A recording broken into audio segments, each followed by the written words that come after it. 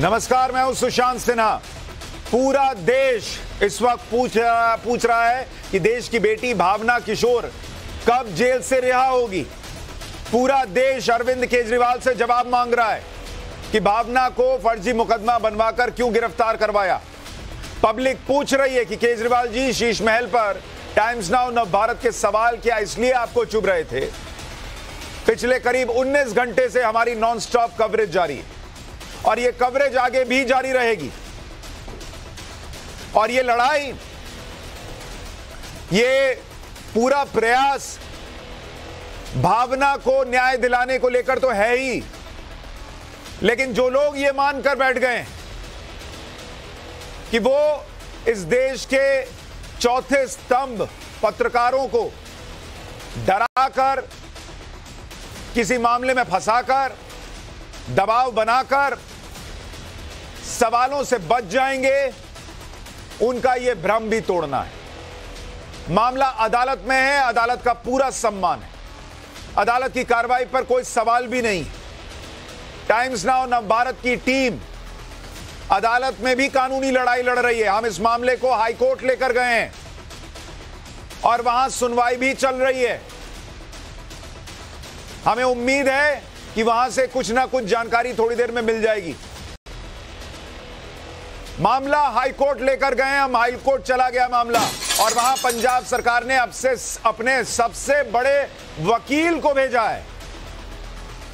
आप सोचिए, अरविंद केजरीवाल जी ने कैसे इसमें ताकत झोंक रखी है। एक महिला रिपोर्टर का केस है। और उसको हाईकोर्ट में सुनने के लिए कोई भी सरकारी वकील जा सकता था। वहाँ सबसे बड़ा जो पंजाब सरकार का वकील होता है, वो भेजा गया है। और यह प्रयास लगता है, जैसे भावना को जेल में कैसे और ज़्यादा रखा जा सके। मैं फिर से कहता हूँ, किसी लेवल, किस लेवल पर आ गए केजरीवाल जी? कहाँ तो देश में नई राजनीति लाने का दम भर रहे थे। प्रेस फ्रीडम की फ़िक्र में दुबले हुए जा रहे थे। कहा तो मीडिया की स्वतंत्रता और सवाल पूछने की आज़ादी को लेकर बहुत चिंतित थे। और कहा एक मामले में अपना सबसे बड़ा वकील भेज दिया कि जाइए हमें रिप्रेजेंट कीजिए। इतना बड़ा मामला हो गया। किसी भी तरीके से इस मामले में फैसला जो है, अरविंद केजरीवाल सरकार को लगता है कि भावना के पक्ष में इसलिए बड़े से बड़ा वकील भेजो। लेकिन हमें पूरा यकीन है कि हाईकोर्ट इस मामले को सुनेगा और एक एक तथ्य ज़रूर देखने के बाद न्याय करेगा। लेकिन इससे पहले कि वहाँ से क्या खबर आती है, मैं आपको बताऊँ, क्योंकि हमारी नज़र है उस पर, क्या वहाँ सुनवाई होती है, क्या होता है। लेकिन मुझे तो ये देखकर अजीब लगता है कि कहाँ प्रधानमंत्री से लड़ने चले थे अरविंद केजरीवाल गृह मंत्री से लड़ते थे, और कहाँ एक पत्रकार से एक बेटी से लड़ने पर आ गए। एक सवाल पूछने वाली महिला पत्रकार से लड़ने लग गए।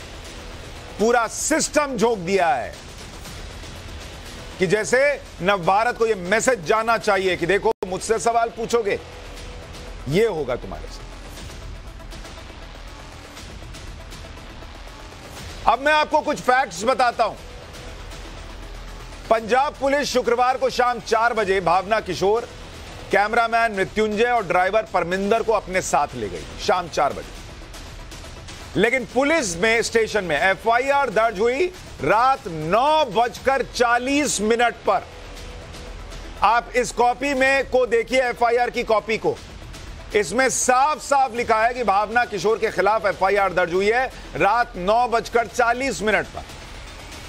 घटना का वक्त भी देख लीजिए। लिखा है कि दोपहर बारह बजे से रात आठ बजकर चालीस मिनट तक घटना हुई। बारह बजे से रात आठ बजकर चालीस मिनट तक घटना होती ही रही। और पुलिस को पहली शिकायत रात आठ बजकर पचपन मिनट पर लिखी। यह एफआईआर में लिखा है। और आपके सामने विजुअल है जिसमें गाड़ी में पुलिस वाला बैठकर, पुरुष पुलिस वाला बैठकर और लेके जा रहा गाड़ी को। तो पहली इंफॉर्मेशन आठ बजकर पचपन मिनट पर कैसे मिली भाई? और जनरल डायरी में आठ बजकर पचपन मिनट पर इसे दर्ज कर लिया गया, ये लिखा जा रहा। है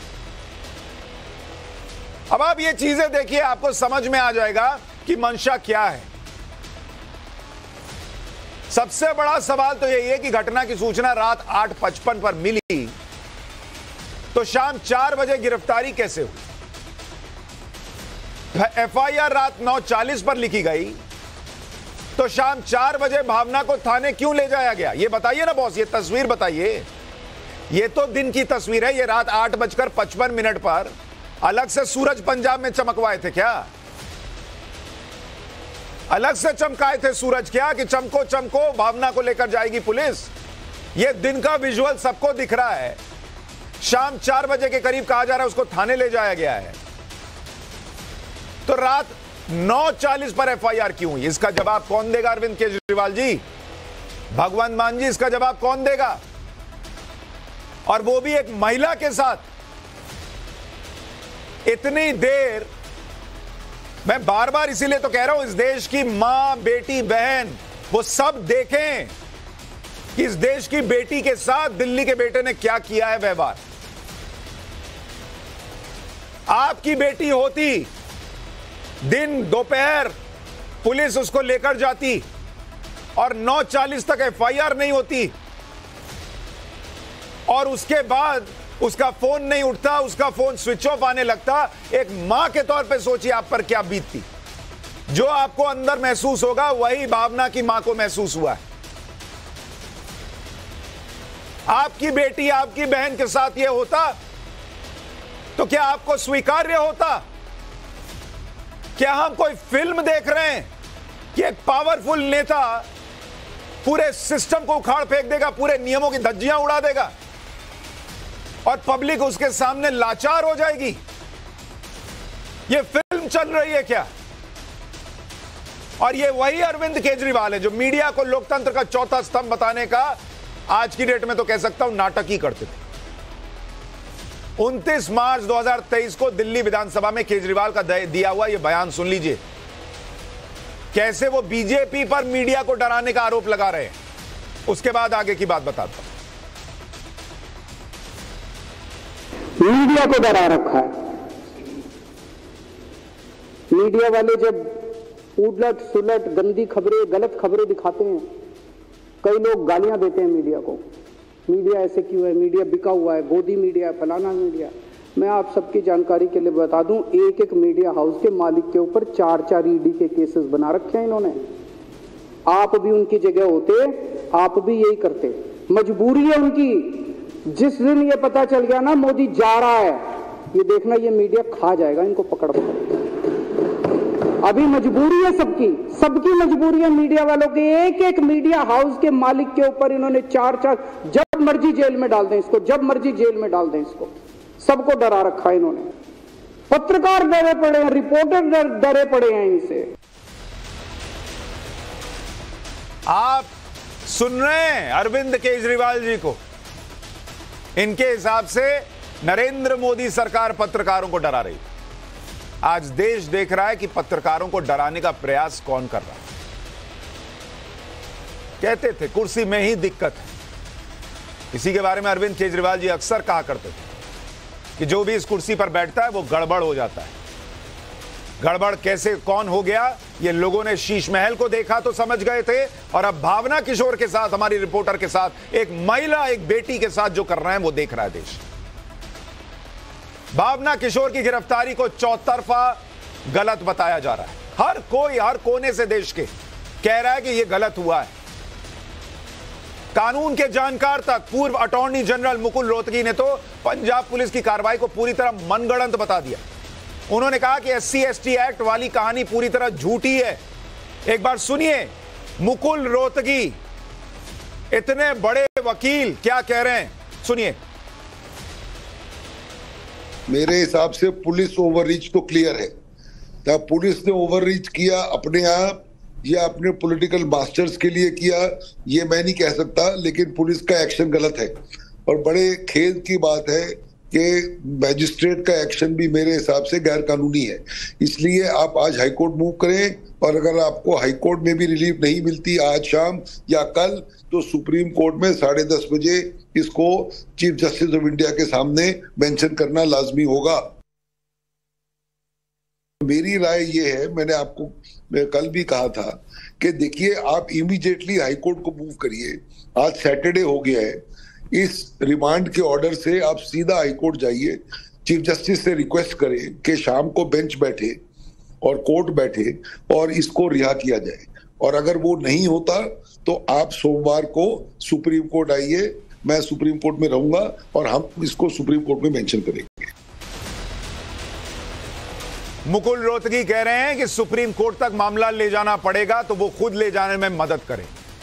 लेकिन इस वक्त मैं दर्शकों को बता दूँ कि टाइम्स नाउ नव भारत की टीम, ये लड़ाई हर मोर्चे पर लड़ रही है, क्योंकि ये लड़ाई इस देश के लोकतंत्र की लड़ाई है। ये लड़ाई इस देश के हर आम आदमी की लड़ाई है बॉस आपके पैसे से 45 करोड़ रुपए का शीश महल खड़ा हुआ था। हमारी ज़िम्मेदारी थी कि हम तथ्यों के साथ एक्सपोज करें। हमने किया। हमारी ज़िम्मेदारी थी कि हम अरविंद केजरीवाल को मौका दें, जवाब देने का। हम उनके पीछे दौड़े। हमको एक तरफा स्टोरी नहीं चला रहे थे। ये जो हमारी रिपोर्टर गई थी, अरविंद केजरीवाल जी से ही जवाब पूछने गई थी कि, सर, आपका पक्ष क्या है? बता तो दीजिए।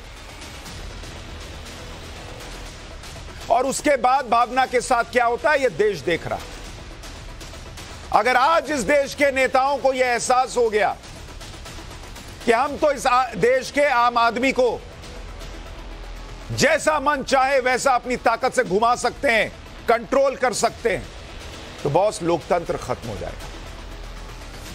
और इसलिए मैं कह रहा हूँ, ये एक भावना की लड़ाई नहीं है। ये किसी नवभारत की लड़ाई नहीं है। ये इस देश की लड़ाई है। हर माँ बहन बेटी की लड़ाई है।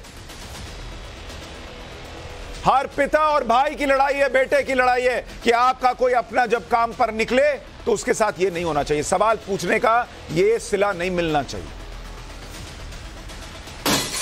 और इस वक्त की बड़ी खबर, भावना को हाईकोर्ट से बेल मिल गई। सबसे बड़ी खबर, भावना को हाईकोर्ट से बेल मिल गई है। सबसे बड़ी खबर आपको बता रहे हैं। टाइम्स नाउ, नव भारत की रिपोर्टर भावना को हाईकोर्ट से बेल मिल गई है। ये खबर इस वक्त आ रही है, जो लोग कह रहे थे कि भाई, कोर्ट में विश्वास रखिए। उनके लिए आज कोर्ट से ही फैसला आ गया। हाई कोर्ट से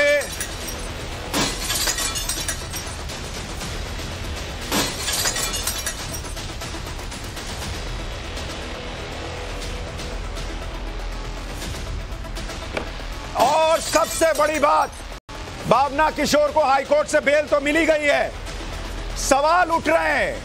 पंजाब हरियाणा हाईकोर्ट ने भावना को जमानत दे दी है। इस वक्त की सबसे बड़ी खबर आपको बता रहे हैं। और ये आम आदमी की लड़ाई जो थी, इसमें आम आदमी जीत रहा है। हाईकोर्ट से बेल मिली है और हाईकोर्ट ने यह भी कहा है, जज ने यह भी कहा कि जो लड़की बाहर से रिपोर्टिंग के लिए आई, उसको जाति के बारे में कैसे पता चल जाएगा? जो कहा जा रहा था कि जाति सूचक शब्द का इस्तेमाल कर लिया यही सवाल हम खड़ा कर रहे थे। और हाईकोर्ट ने भी वही कहा कि अगर लड़की बाहर से रिपोर्टिंग के लिए आई है किसी से मान लीजिए झगड़ा भी हो जाएगा उसको कैसे पता चल जाएगा कि भाई इस जिससे झगड़ा कर रही हूँ उसकी जाति क्या है उसको कैसे पता चला? जो आरोप लगा दिया गया कि जाति सूचक शब्दों का इस्तेमाल किया गया।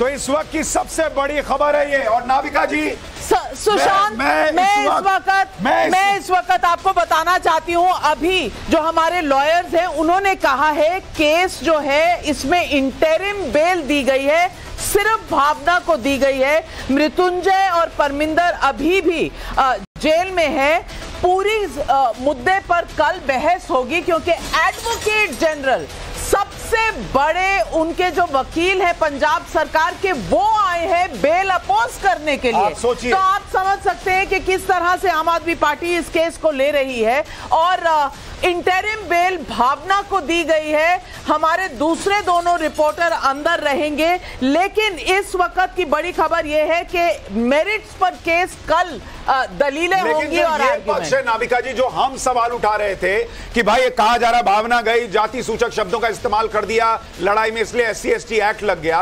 अगर जज को भी ये लग रहा है कि कोई आज ही आया है और लड़ाई में एस सी शब्द का कैसे इस्तेमाल हो जाएगा ये अपने आप में बड़ी बात है। बिल्कुल और ये सवाल पूछा गया है वहाँ जज द्वारा कोर्ट में कि ये किस तरह का केस है कैसे एस सी एक्ट लगाया गया है इस केस में।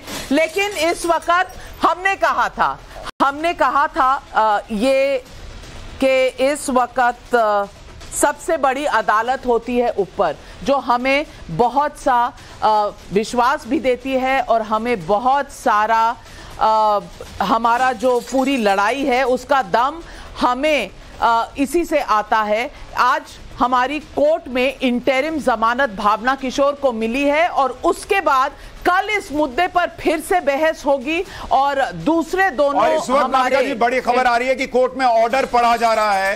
भावना को जमानत मिल गई है हाईकोर्ट से बेल मिल गई है और मैं बार बार कह रहा हूँ यह भावना की जीत नहीं है। यह इस देश की जीत है कि आप देखिए एक पूरा सिस्टम खड़ा हो जाता है सवालों से बचने के लिए सवालों सवाल जो हमें ये हमें ये बताया जा रहा है कि इस तरह के सवाल पूछे गए अभी ऑर्डर अभी भी डिक्टेट किया जा रहा है। आ, शायद जो दलीलें हैं आ, वो कल इस पर बहस होगी लेकिन इस वक्त हमें अपने आप को रोकना पड़ेगा।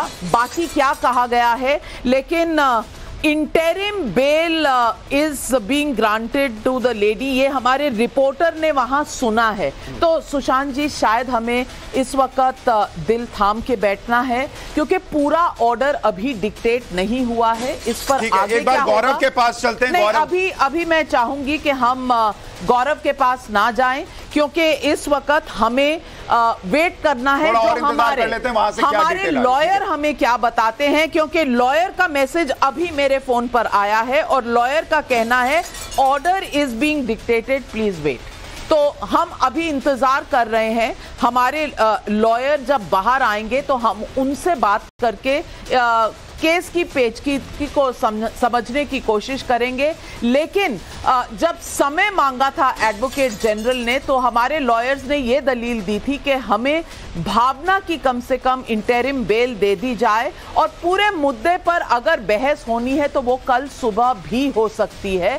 और शायद जज ने इस पर गौर फरमाया और उसके बाद शायद ये तय किया है कि इंटरिम बेल अभी एक भावना को दी जाए मृत्युंजय और परमिंदर का जो केस है और भावना को भी कल शायद कोर्ट में प्रेजेंट रहना पड़ेगा। ये इंटरिम बेल है सिर्फ़। आ, ये पूरी बेल नहीं है। तो इसका मतलब कि कुछ कंडीशंस भी होंगे उसमें। तो जब तक ये कंडीशंस ना आ जाएँ हमें इंतज़ार करना पड़ेगा कुछ और समय तक क्योंकि अभी ऑर्डर डिक्टेट हो रहा है।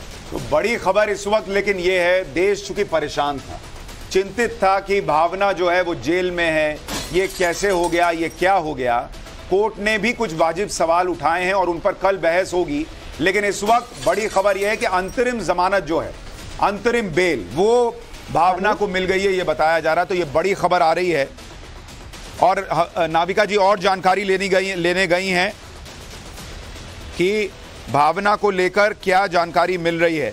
लेकिन भावना को अंतरिम बेल मिल गई है यह बताया जा रहा है। तो बड़ी खबर इस वक्त की हम आपको बता रहे हैं। भावना किशोर को हाईकोर्ट से अंतरिम जमानत मिल गई है। भावना को लेकर पूरी सुनवाई जो है, वो अब कल जो है, वो कोर्ट के अंदर होगी। लेकिन हाईकोर्ट ने भी प्रश्न पूछे हैं कि भाई, आरोपी को जब जानती नहीं थी तो जाति सूचक शब्द कैसे इस्तेमाल हुआ? इस पर थोड़ी जानकारी दीजिए। क्योंकि आप सोचिए, इस पूरे मामले में पंजाब सरकार के जो सबसे बड़े वकील होते हैं, उनको लगा दिया गया कि आप जो है इसमें जाकर पैरवी कीजिए। मतलब अरविंद केजरीवाल जी ने ऐसा लगता है इसको नाक की लड़ाई बना लिया। लेकिन वहाँ पर भी भावना को जमानत मिल गई है, अंतरिम जमानत मिल गई है, और यह पूरा मामला जो है वो कल हाईकोर्ट में सुना जाएगा। हमें पूरा विश्वास है कि हाईकोर्ट एक एक पक्ष को सुनेगा और न्याय करेगा लेकिन इस न्याय का इंतज़ार देश कर रहा था। हमारे साथ कुछ मेहमान भी जुड़ गए हैं। विक्रम सिंह, पूर्व DGP Harshvardhan Tripathi senior journalist Sangeet Ragi political analyst और अश्वनी उपाध्याय एडवोकेट हैं। सुप्रीम कोर्ट के हमारे साथ जुड़ गए हैं। अश्वनी उपाध्याय जी, मैं आपसे शुरू कर रहा हूँ।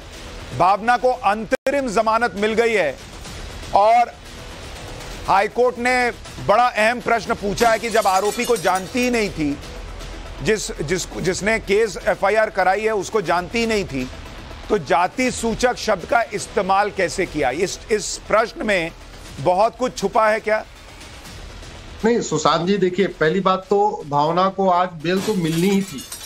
जिस तरीके का एक पूरी तरीके से फेक केस बनाया गया, और आप चार चार, साढ़े चार बजे आप उसको थाने ले जाते हैं, रात को नौ, साढ़े नौ तक अपने पॉलिटिकल पॉलिटिकल मास्टर का वेट किया जाता है कि कौन सी धारा लगानी है, कौन सी धारा नहीं लगानी है। फिर डिसाइड हुआ होगा, चार घंटे में काम करो एस सी लगा दो। जिससे कि नीचे के मजिस्ट्रेट कोर्ट इसको बेल न दे पाए। ये सारा हुआ है, मंथन हुआ है, उसके बाद हुआ है। लेकिन एक बात तो तय है, मैं आपसे एक रिक्वेस्ट भी करूँगा कि किसी दिन आप तीन बीमारियों के ऊपर अपना जो आप न्यूज़ की पाठशाला करते हैं तीन बीमारियों पे करिए। पहला नार्सिज्म दूसरा मेगलोमानिया तीसरा स्टॉकहोम सिंड्रोम ये तीन बड़ी गंभीर बीमारियाँ हैं। देश को पता चलना चाहिए कि भारत का कौन सा नेता नार्सिज्म से परेशान है, कौन सा मेगलोमोनिया से ग्रस्त है। लेकिन कहीं ना कहीं जो भ्रष्टाचार का पहले आरोप था भावना की गिरफ्तारी और भावना के खिलाफ अपने सीनियर एडवोकेट्स को खड़ा करना फिर भावना के बेल अच्छा ये भी ये भी बताइए कि कितना ये सामान्य है कि एक इस तरह का रोड रेज का मामला जिसमें एस सी एक्ट लगा दिया जाता है उसके लिए राज्य सरकार का सबसे बड़ा वकील हाईकोर्ट में पहुँच जाए बेल अपोज करने। नहीं, ये भावना और इनफैक्ट न्यूज़ आपका टाइम्स नाउ नव भारत तो केवल एक ज़रिया था। वो पूरे देश के मीडिया को सबक देना चाहते हैं कि अगर हमसे सवाल पूछोगे, हम तुम्हारा ये हसर करेंगे। हमारे पास दिल्ली में पुलिस भले नहीं है, हमारे पास पंजाब में पुलिस है, हम तुमसे दिल्ली में निपट नहीं पाएँगे, लेकिन हम पंजाब में तुम्हें ऐसा सबक सिखाएँगे, तुम्हें एस सी भी लगाएँगे। मैं तो आपको ये भी कह रहा हूँ, सुशांत जी, ये तो भावना थी इन्होंने एस सी लगाया। ये भी हो सकता है अगर वो मेल कोई पत्रकार होता तो हो सकता है बलात्कार का भी लगवा देते। करना क्या है उनको? अरे जब झूठा केस खड़ा करना है तो बलात्कार का भी आरोप लगा दो छेड़छाड़ का भी लगा दो एस सी लगा दो लेकिन सर इस देश में अदालतें हैं। कुछ लोग भूल जाते हैं कि इस देश में अदालतें भी हैं। एक जनता की भी अदालत है जो सब देख रही है कि दिल्ली का बेटा क्या व्यवहार कर रहा है देश की बेटी से। और इस देश में कानूनी अदालतें भी हैं वो भी देख रहे हैं वो भी न्याय करेंगे इस पर विश्वास था सबका। हम और बाकी मेहमानों से एक एक रिएक्शन ले लेते हैं पहले। संगीत रागी जी अंतरिम जमानत भावना को मिल गई है आपका रिएक्शन सबसे पहले तो ये जान लीजिए कि अरविंद केजरीवाल के खिलाफ के अरविंद केजरीवाल के बारे में जब से आपने शीश महल दिखाया है हम्म। आपने अरविंद केजरीवाल की जो पूरी पॉलिटिकल कैपिटल थी, आपने उसे एक दिन में ध्वस्त कर दिया है।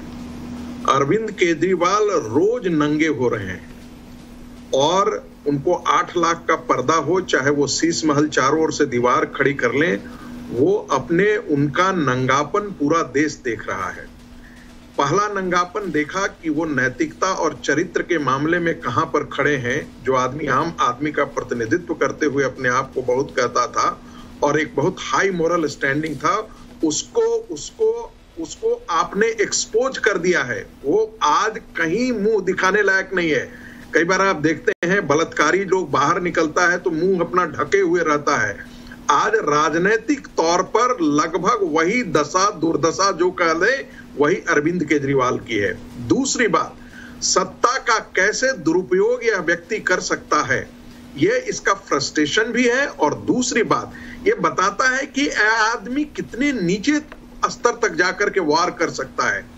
एक महिला पत्रकार को जो जो यहाँ से दिल्ली से पंजाब गई है, बिल्कुल वाजिब सवाल है। किसी को आपसे सवाल पूछ रही है किसी उसको किसी के बारे में जानकारी नहीं है कि उसकी जाति कौन है अरे सर मैं आपको बताऊँ क्या है। मैं आज आपको एक बात बताता हूँ। चलिए अश्विनी उपाध्याय और त्रिपाठी जी इनके सरनेम से फिर भी कोई समझ जाए। मैं तो आज तक आपकी जाति नहीं जानता कि संगीत रागी किस जाति का और ना हमारी कभी चर्चा हुई है। मैं तो कितने सालों से आपके साथ शो कर रहा हूँ। बिल्कुल बिल्कुल। मैं तो कह रहा हूँ भा, भावना के भाव भा, मैं तो मैं वही बात कह रहा हूँ कि कोई देखिए पुरुष में इस प्रकार की मानसिकता थोड़ी बहुत होती भी है सुशांत जी। महिलाओं में मुझे मैं इतना छात्रों के बीच में उठता बैठता हूँ ये मैं कह सकता हूँ बड़े दावे के साथ कह सकता हूँ। उनमें ये लगभग नगण्य होती है। वो कभी भी इस प्रकार की बातें नहीं कर सकते। हम मान नहीं, और हमने हमने वीडियोस दिखाए। कि भाई उसके पहले भी जब भावना को रोका जा रहा था कि अरविंद केजरीवाल वहाँ सड़क से गुजरने वाले हाँ। हैं ये टीम फुटपाथ पे खड़ी है वहाँ पर भी उनको कहा जा रहा था और पीछे जाओ और पीछे जाओ इनका बस चलता तो धरती गोल है वहाँ से नीचे गिरा देते कि तुम वहीं से चले जाओ। लेकिन लेकिन मैं आपको बता रहा हूँ। मैं एक मिनट सर मैं आ रहा हूँ उसके बावजूद भावना ने वहाँ किसी से कोई गाली गलौज नहीं की। वो बेचारी पूछती रही कि, सर, मैं हम क्या कर रहे हैं गलत? इतना बता दीजिए। वो लड़की को कह रहे हैं कि, भाई, उसने गाली दे दी और कह दिया, गाड़ी चढ़ा दो। और संजय सिंह ने तो ट्वीट कर दिया कि पत्रकार ने गाड़ी चढ़ा भी दी। हमारे साथ, अब सुनिए, मैं दर्शकों को बता दूँ, पहली बड़ी खबर तो यह है कि भावना को अंतरिम बेल मिल गई है। उसकी पूरी जमानत पर कल अब सुनवाई होगी, लेकिन हाईकोर्ट ने अंतरिम बेल भावना को दे दी है। अब हमारे साथ मनोज जुड़ रहे हैं। हमारे वो सहयोगी जो उस वक्त वहाँ मौजूद थे हमारे पंजाब के रिपोर्टर जो वहाँ मौजूद थे और उनकी आँखों के सामने सब कुछ हुआ था। मनोज, मैं चाहता हूँ आप देश को बताएँ कि उस वक्त क्या हुआ था, भावना और जब पूरा क्रू वहाँ पर था, आपने देखा क्या हुआ था? एक एक डिटेल बताइए दर्शकों को। बिल्कुल सुशांत, देखिए सच्चाई की आखिरकार जीत हुई है और भावना को पंजाब और हरियाणा हाईकोर्ट ने अंतरिम जमानत दे दी है। और जिस तरीके से कोर्ट में दलीलें दी गई हाई कोर्ट ने भी आ, आ, ये माना है अपने आदेश में कि ऐसा लगता है कि जिस तरीके से जो भावना है जो करस्पॉन्डेंट है टाइम्स ऑफ़ भारत की वो नोएडा से चलकर आई थी। और ऐसा नहीं हो सकता कि वो जो कंप्लेनेंट है उनको पहले से जानती हो उनकी जाति के बारे में जानती हो। तो ये एक बड़ा ग्राउंड बना उनको अंतरिम जमानत दिए जाने का। और अब अंतरिम जमानत दी जा चुकी है। और जैसा कि आपने भी ज़िक्र किया कि कल की जो घटना है काफ़ी दुर्भाग्यपूर्ण हम इसको कह सकते हैं भावना और मैं वहाँ पर इकट्ठे ही थे। हम उस इवेंट को कवर कर रहे थे और वहाँ से जैसे ही अरविंद केजरीवाल इंटर हुए, उनका काफिला निकला। उसके बाद हम वहाँ से मूव हो गए निकलने के लिए। लेकिन उसी बीच ये पूरा जो घटनाक्रम है, जो बताया जा रहा है कि किस तरीके से जो इनोवा कार है उसमें जो हमारी गाड़ी थी ऑफ़िस की उस उसको एक ई रिक्शा के साथ उसकी टक्कर हुई और उसके बाद उसमें जो कुछ महिलाएँ थी उन्होंने कहा कि उनको चोट लगी है उनका मोबाइल टूटा है। लेकिन ये अचानक ये कैसे हुआ ये समझ से है क्योंकि गाड़ी जिस वक्त टक्कर की बात कही जा रही गाड़ी खड़ी थी और भावना उसमें बैठ रही थी और बैठी ही थी। इतने ही विद इन वन मिनट ये सारा वाक्य हुआ और उसके बाद से हम देखने किस तरीके से भावना को थाने ले जाया गया फिर देखिए जितने लोग आज मुकुल रोहतगी जो सॉलिसिटर जनरल तक रह चुके हैं, उन्होंने भी कहा कि भाई ये तो S C S T act लगाया गया है, ऐसा लग रहा है, और इसलिए पूरी कहानी जो है वो रखी गई है। एक बार गौरव के पास भी चलते हैं। गौरव, और क्या जानकारी मिल रही है इसको लेकर? देखिए सुशांत, सबसे महत्वपूर्ण यहाँ पर जो चीज़ थी, वो एस सी एक्ट का दुरुपयोग था। कोर्ट ने इस बात को नोट किया है कि एक रिपोर्टर, महिला रिपोर्टर जो कि दिल्ली से चलकर लुधियाना जाती है, जो कि बिल्कुल जानती नहीं है और पाँच मई को आप एफआईआर दर्ज करते हैं और एस सी एक्ट लगा देते हैं, ये सीधा दिखाता है कि इसका कोई आधार नहीं है और कोर्ट ने इस जो पूरी जो पूरी कार्रवाई रही, कानूनी कार्रवाई पंजाब पुलिस की तरफ़ से, उसको माना है कि कहीं ना कहीं वो फॉल्टी थी, गलत थी। यही वजह है कि भावना को जो अंतरिम जमानत है वो दे दी गई है। और अब इस मामले में जो हमारे दो, दो बाकी के दोनों साथी थे मृत्युंजय और परमिंदर उनको लेकर भी आ, आगे सुनवाई होगी।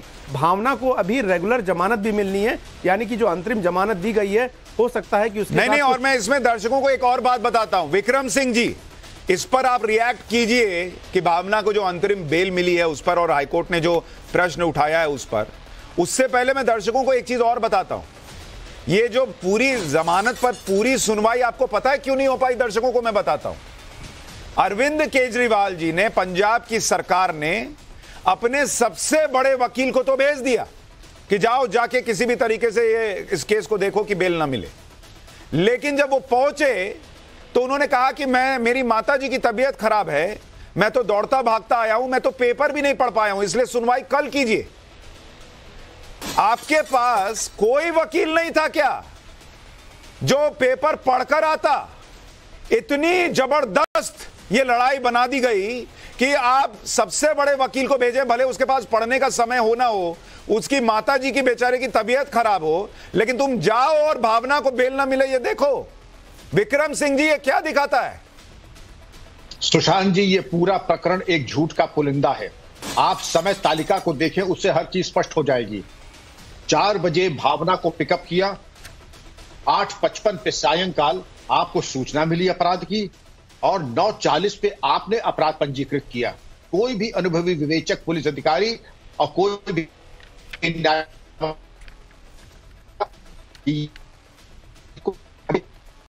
ताना बाना बुना गया है और उसका आधार चिला यही दिखाता है। और इसीलिए न्यायालय ने अपनी विद्वता के चलते एक इंटरिम जमानत दे दी है।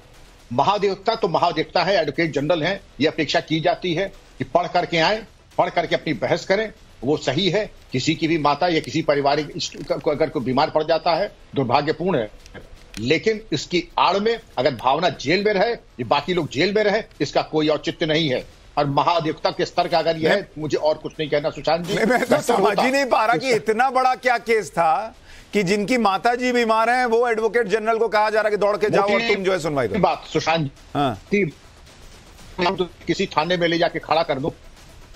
किसी थाने में खड़ा कर दूँ और आप बता दें कि वहाँ कौन किस जात का है। ये तो ऐसी ही अविश्वसनीय बातें हैं और न्याय माननीय न्यायालय ने बिल्कुल स्पष्ट देख लिया कि ये अविश्वसनीय है इसको बिल्कुल निराधार है केवल प्रताड़ित करने के उद्देश्य आपको लग रहा है कल कल भावना और हमारे बाकी सहयोगियों को जमानत मिल जाएगी? अभी तो अंतरिम जमानत मिली मिल जाएगी जमानत?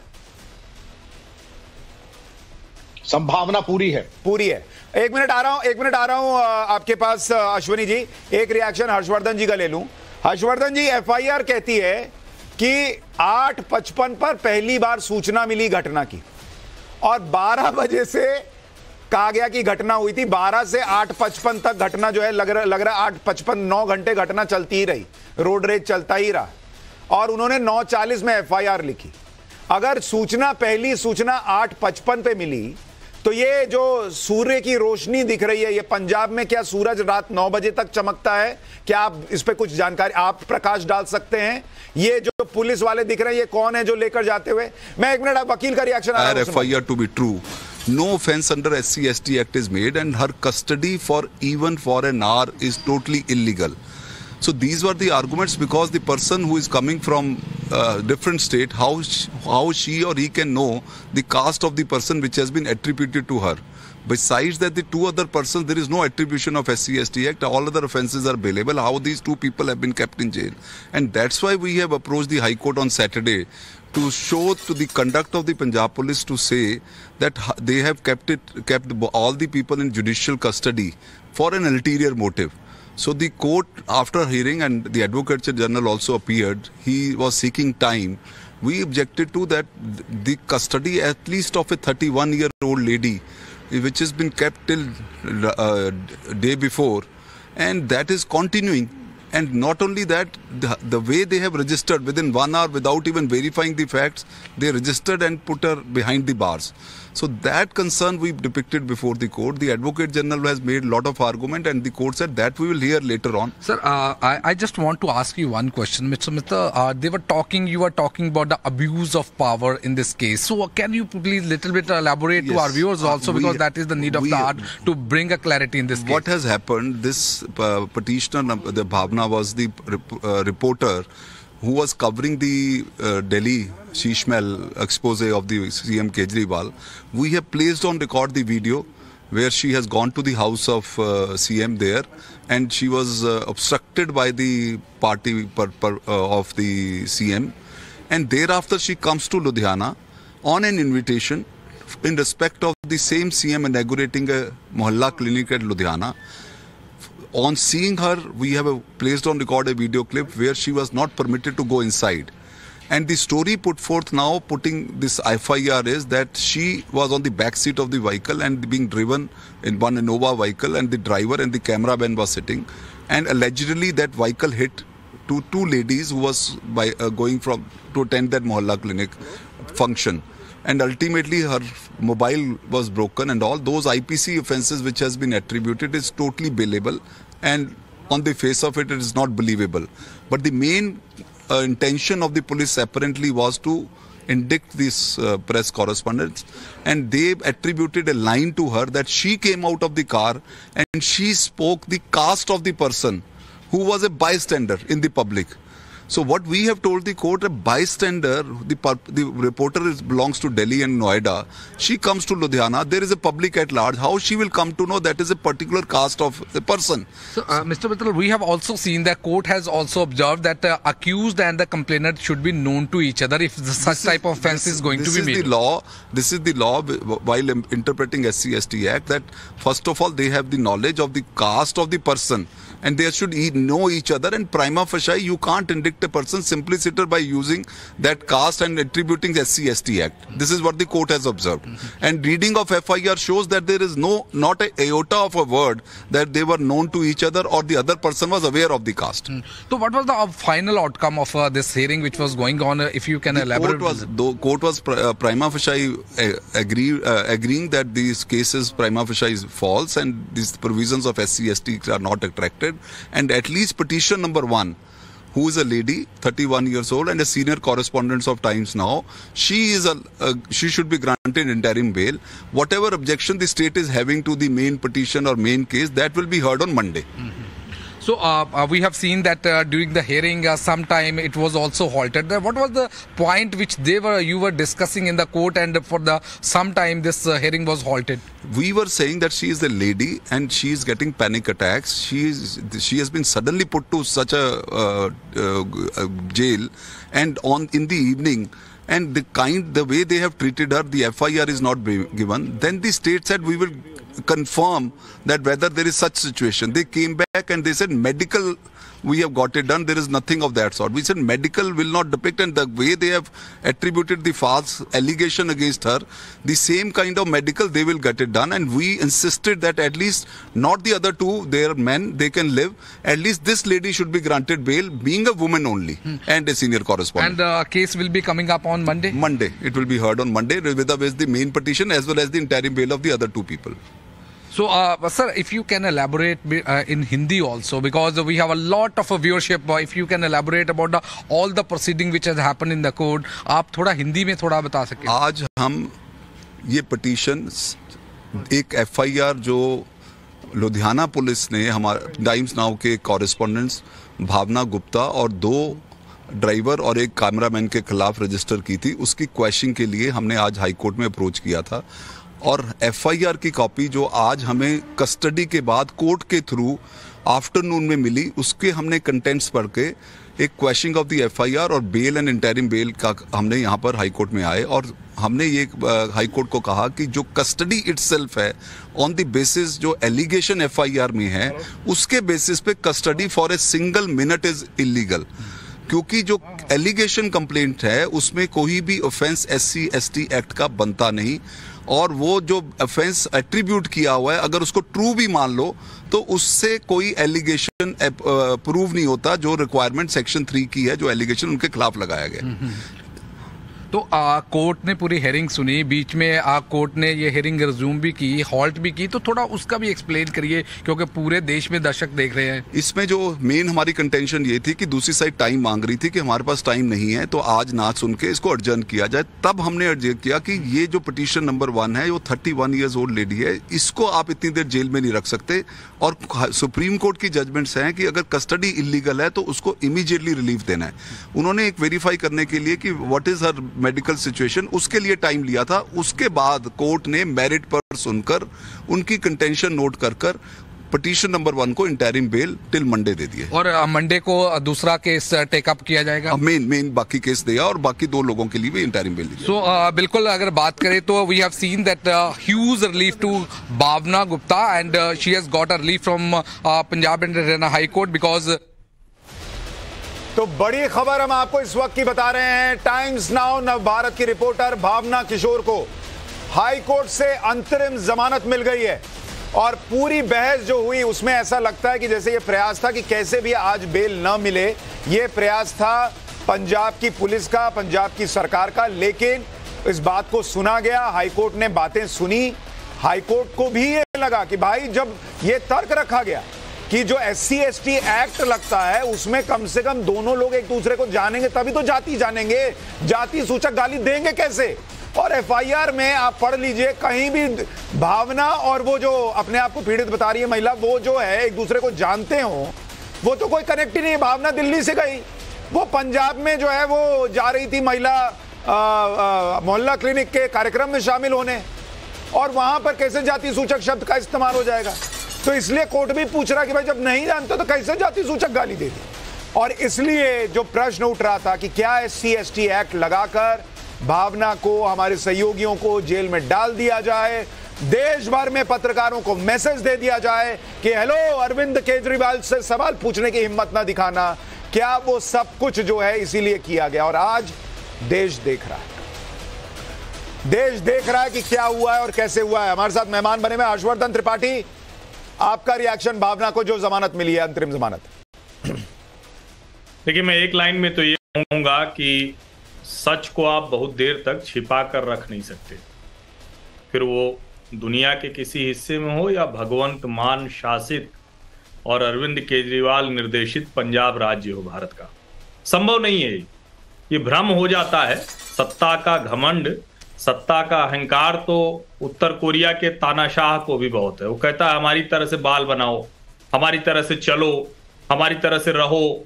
हम जो बोलते हैं, बस वही सुनो। हमारे कहे के अलावा कुछ मत करो। तो ऐसा भ्रम दुनिया में बहुत से तानाशाहों को अलग अलग समय पर हुआ है। लेकिन भारत में किसी की तानाशाही चली नहीं है। और अगर इस तरह से एक कोई मीडिया हाउस, एक कोई टीवी चैनल, एक कोई रिपोर्टर किसी नेता का सच बताता है और उस सच का जवाब देने की बजाय वो पुलिस भेजता है तो एक बात और स्थापित हुई सुशांत जी। क्या? वो जो शीश महल का सच था वो जो पत्थरों में चेहरा देखकर चमकने की नई चीज़ चली है मतलब अद्भुत है ये कि पत्थर जो नीचे दिख रहा है उसमें देखकर चेहरा चमकेगा। ये अरविंद केजरीवाल के पहले किसी मुख्यमंत्री ने किया नहीं। और पत्रकार तो इसके लिए तैयार रहता है। उनको पता है कि ये ऐसे नेता आएँगे उनके हाथ में पुलिस होगी तो उसका दुरुपयोग होगा। और मैं इसीलिए कह रहा हूँ कि भारत का लोकतंत्र इन नेताओं को अरे पर हर्षवर्धन जी मैं तो ये कह रहा हूँ जनता ये देश का हर की हर माँ बहन बेटी देखे कि एक राज्य की पुलिस हाथ में है तब ये हाल है।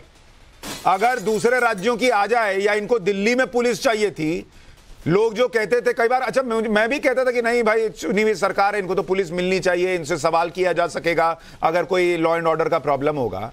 लोग कहते थे कि अरे भैया ये जो इनका हिसाब है ये तो पीएम और हो, होम मिनिस्टर को पता चला उठवा लेंगे कल की बार उठाओ पीएम ने ऐसा कैसे बोल दिया? सुशांत जी सवाल किया जा सकेगा आपने सवाल किया तो था हम्म। चैनल ने सवाल किया भावना किशोर को वहाँ पकड़ लिया जहाँ कोई तुक ताल नहीं था। और मैं तो ये कह रहा हूँ कि देखिए हमने इसके पहले वाकई देखे हैं। कुमार विश्वास बहुत बड़े कवि हैं, आपके संस्थापक हैं। इतनी उनकी पहुँच है, फिर भी उनको हाईकोर्ट जाना पड़ा। तजिंदर पाल सिंह बग्गा भाजपा के नेता हैं, हरियाणा में भाजपा की सरकार थी, रोक ले गए। अलका लांबा कांग्रेस की नेता है, फिर भी पंजाब में जाना पड़ा। पत्रकार तो घूम रहे अकेले, उनके पास तो न काफिला होता है, न पार्टी होती है, न वकील होते हैं। वो तो जाते हैं, भुगतते हैं, लेकिन लड़ते हैं, क्योंकि हम सवाल भी पूछेंगे लड़ेंगे भी और ये लोकतंत्र ऐसे तानाशाहों को आईना दिखाएगा और जब घमंड टूटेगा ना तो चौराहे पर कोई पहचानेगा नहीं। समझ में नहीं आएगा कि एक समय में जनता ने इनको प्रचंड बहुमत दिया था और उसका छोटा सा उदाहरण दे देता हूँ आखिरी लाइन में। कर्नाटक के चुनाव हो रहे हैं, पता नहीं है आम आदमी पार्टी कहाँ है। अभी आज से आठ महीने पहले अर्बन सेंटर्स में आम आदमी पार्टी के वॉलंटियर भाई आज आज की डेट में पता नहीं। हर्षवर्धन जी आज की डेट में लोगों ने यह भी देख लिया कि न बंगला लेने वाले शीला दीक्षित के दस एसी पर सवाल उठाने वाले टैक्स पेयर के पैसे के लिए छाती पीट लेने वाले अगर पंद्रह पंद्रह लाख का बाथरूम बना लेते हैं चार लाख का कमोड लगा लेते हैं साढ़े तीन करोड़ का मार्बल लगा लेते हैं आठ आठ लाख के पर्दे लगा लेते हैं तो वो सच भी सामने आ गया। और जो लोग हिटलर शाही देश में बताते हैं लोकतंत्र खतरे में बताते हैं। वो खुद कितना लोकतंत्र मानते हैं वो भी लोगों के सामने आ गया कि चार सवाल पूछने वालों पर। अच्छा मैं आप आप में से पता नहीं किसी ने देखा या नहीं देखा। यहाँ पहले हमारे रिपोर्टर के साथ सीएम आवास के बाहर इनके बाउंसर ने पहले मारपीट का प्रयास किया। उसके बाद जंतर मंतर पे तो बकायदा मारपीट कर ही दी। जंतर मंतर पर इन लोगों ने एक और प्रयास किया था। कि हमारे रिपोर्टर्स पर जो है वो किसी तरीके से सेक्सुअल हरासमेंट का आरोप लग जाए। वो तो यही भावना थी हमारी रिपोर्टर जिसने हमारे दो पुरुष रिपोर्टर्स को प्रोटेक्ट किया बताया कि भाई इन लोगों ने कुछ नहीं किया। कैमरे में सारी तस्वीरें रिकॉर्ड हो गई वो लोग कोई सबूत नहीं दे पाए सब नदारद हो गए। नहीं तो प्रयास ये था कि हमारे रिपोर्टर को उसमें लांछन में फंसा दिए देखिए चारों तस्वीरें। और जब वहाँ भी ये अनसक्सेसफुल हो गए, तब इन्होंने पंजाब में जाकर, जहाँ पर इनकी पुलिस थी, ये काम किया और एस सी एक्ट जैसे लगा दिया गया। एक बार हमारे सहयोगी मनोज के पास चलते हैं। मनोज, कोर्ट ने जो ऑर्डर दिया है, वो आ गया है क्या आपके पास? क्योंकि मैंने अगर वकील को सुना तो ऐसा लगा मैंने सुना कि शायद कोर्ट ने प्राइमा फेसी केस को फॉल्स भी माना है। लेकिन क्या ऐसा ऑर्डर में भी लिखा है? क्या आपके पास जानकारी है?